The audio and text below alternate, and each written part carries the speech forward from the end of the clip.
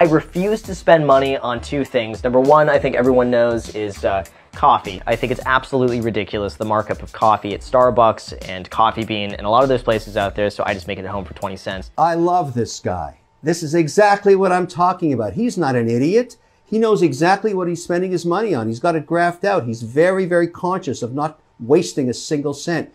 Nothing wrong with that. That's very smart. Coffee is a big money waster. You get really hosed when you buy it.